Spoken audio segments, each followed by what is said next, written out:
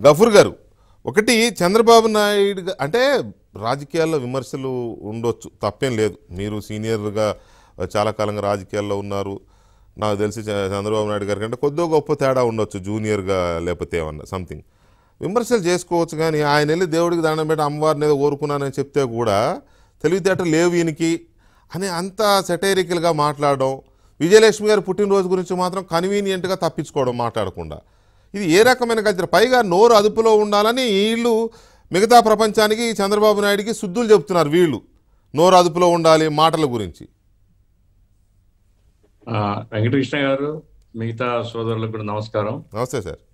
ఇప్పుడు నేను ఉదయాన్నే మీ పత్రిక చూశాను సార్ ఆనందజ్యోతి. ఆ, దాంట్లో చేతగాని దద్దమ్మ నా కృషిని మొత్తం నాశనం చేసినాడని ఏదో ఒక కామెంట్ ఉంది.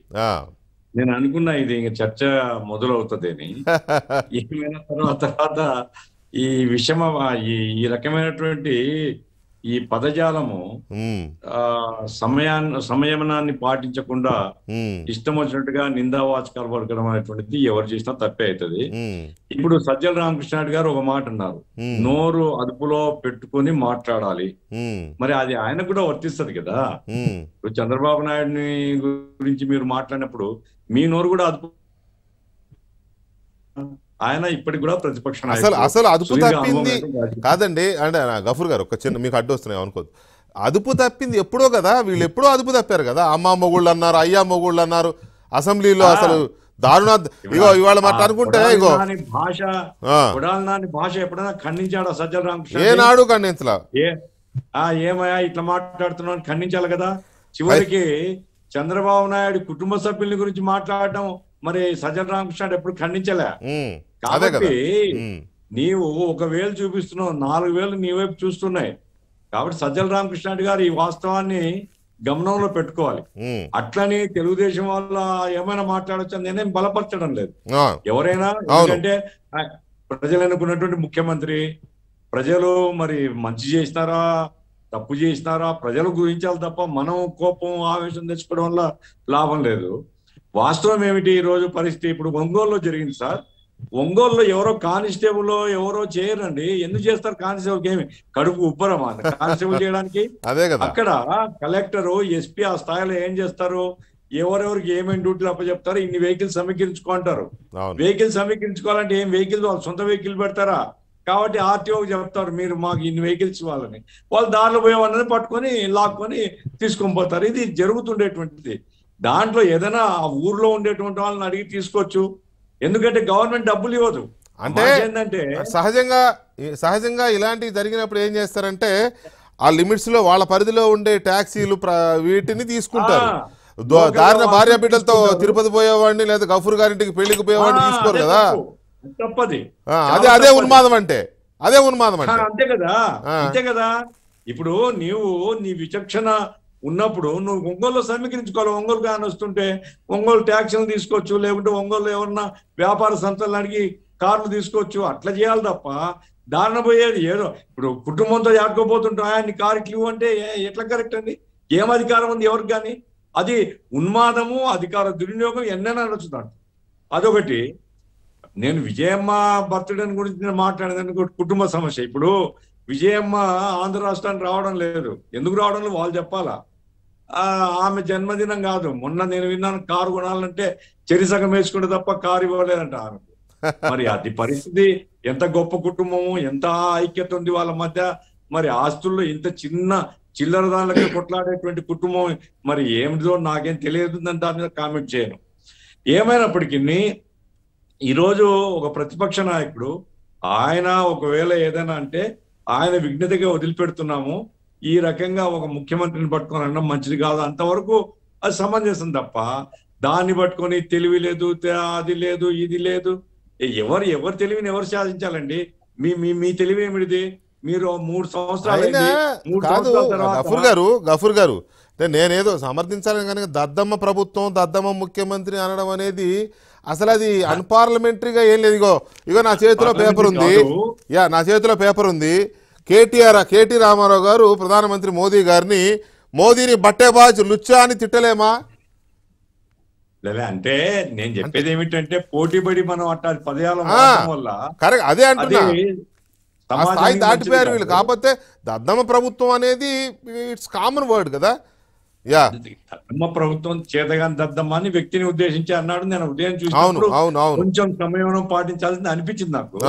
ఎందుకంటే ప్రజలు ఆయనకు అధికారం ఇచ్చారు. ప్రజలు తేల్చుకోవాలి ఇవి. ఇప్పుడు సమస్య ఏమిటంటే వెంకటకృష్ణ గారు మూడు సంవత్సరాల తర్వాత ఇప్పటికి కూడా చంద్రబాబు నాయుడు గురించి ఎన్నాళ్ళు చెప్తారు వీళ్ళు? ఉమ్, కరెంట్ లేదు. బాలినేని శ్రీనివాసరెడ్డి చెప్తాడు లేదా ఇప్పుడు కొత్తగా పెద్దిరెడ్డి రామచంద్ర చెప్తున్నాడు చంద్రబాబు విధానాలే కారణం. పోలవరం కాలేదు చంద్రబాబే కారణం. ఇక ప్రధాని చంద్రబాబు ఎంతకాలం అంటారని చంద్రబాబు విధానాలు మంచివా చెడ్డవా? అది వాళ్ళ పార్టీ వాళ్ళు తెలుసుకుంటారు అవును. లేదా ప్రజలు తెలుసుకుంటారు మూడు సంవత్సరాలు మీకు అధికారం అప్పచెప్పిన తర్వాత మీరు మరి చేతనైన వాళ్ళ చేతగాని వాళ్ళ మీకు తెలివి ఉందా తెలివి లేదా? ఏదైనా ఈ రాష్ట్రంలో అభివృద్ధి కార్యక్రమాలు ఉన్నాయా?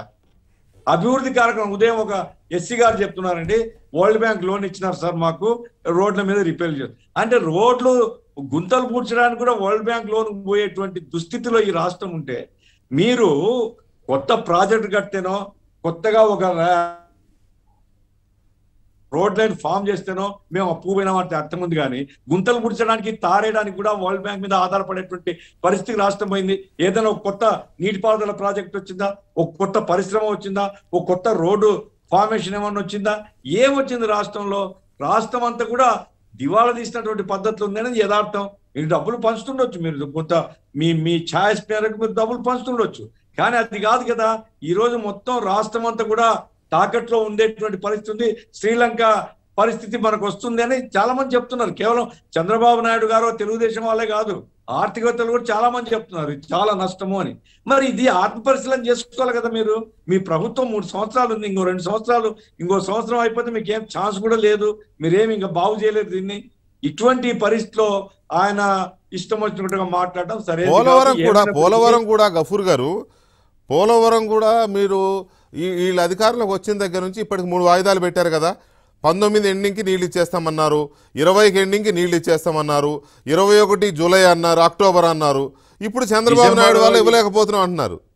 డిసెంబర్ ఇరవై ఒకటి అని ఆయన అనిల్ కుమార్ చాలా గట్టి గట్టిగా మాట్లాడారు. సవాల్ కొట్టాడు తొడగొట్టాడు కదా. ఎప్పుడు కాదు బుల్లెట్ దిగాలి కదా అన్నాడు కదా. ఇవన్నీ మీరు ఆన్సరబుల్ కాదా? అకౌంటబిలిటీ లేదా మీకు? కాబట్టి నేను చెప్పేది ఏమిటంటే మీరు ఇతరుల్ని విమర్శించే ముందు మీరు ఆత్మ పరిశీలన చేసుకోండి. మేము చెప్పింది ఏమిటి? మేము ఈరోజు చేస్తున్నది ఏమిటి? మేము నిజంగా ప్రజలకు న్యాయం చేస్తున్నామా? ప్రజలు న్యాయం చేయకపోతే ఒకటండి. వాళ్ళు అనుకుంటుండొచ్చు ఈరోజు చంద్రబాబు నాయుడును అట్లా ఇట్లా అని చెల్లబాటు అవుతుందని. కానీ అంతకంటే చాలా దీన స్థితికి మీరు పోతారు. జనం మిమ్మల్ని పోయారు already. చీ కొడుతున్నారు మీరు అనుకుంటున్నారు మళ్ళీ వస్తాం మళ్ళీ వస్తాం అని. ఇదే పద్ధతిలో వస్తే మళ్ళా కాదు ఇంకా జన్మలో రాలేరు. అది వాళ్ళు గుర్తుపెట్టుకోవాలా? కాబట్టి ఒళ్ళు దగ్గర పెట్టుకొని నోరు అదుపులో పెట్టుకొని సజ్జల రామకృష్ణారెడ్డి గారు జగన్మోహన్ రెడ్డి గారు మాత్రమే కాదు ఆ వెనుక ఉండేటువంటి గ్యాంగ్ ఏదైతే ఉందో ఈ రిఫ్రాప్ గ్యాంగ్ అంతా జోడైందండి. ఎందుకు? అమ్మాయి అరవై రోజులు తీసుకొని తిరిగినారు. ఇట్లాంటి రిఫ్రాప్స్ అంతా కూడా.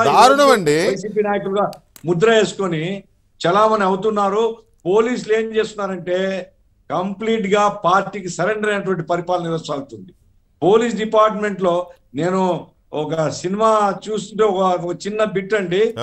ముఖ్యమంత్రి గారు రోడ్డు మీద రారు. ఆయన ఆకాశంలో పోతుంటాడు హెలికాప్టర్లో ట్రాఫిక్ ఆపేస్తాడు ఏ పోయి ఏమంటే అరే ఆయన ఆకాశంలో పోతున్నా ఆకాశంలో పోయినా కానీ ట్రాఫిక్ ఆపుతాం మేము. లేకపోతే నీ ఆర్సీ బుక్ దా నీ లైసెన్స్ దా అంటాడు. అట్లుంది పరిస్థితి ఇప్పుడు రాష్ట్రం అరే ఆకాశంలో పోయామని కింద రోడ్డు ఎందుకు ఆపాలా?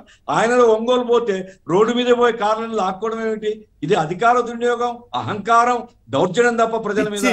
ఇంకోటి కాదు. పిచ్చి అందుకోసం ప్రభుత్వ అధికార యంత్రాంగం కూడా ఒళ్ళు దగ్గర పెట్టుకొని పనిచేయాలా?